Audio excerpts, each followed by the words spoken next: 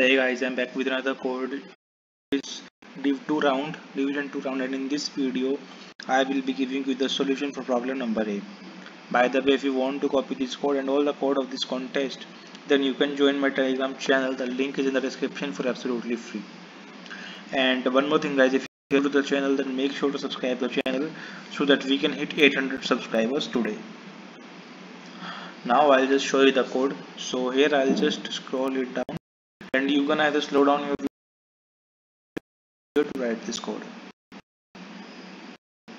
And guys it's a humble request to all of you to please subscribe the channel because I am charging you nothing uh, not even a single penny from you. So it takes nothing of you to just press that so please subscribe guys and do join the telegram to copy the code for free. You are going you'll copy the code for absolutely free so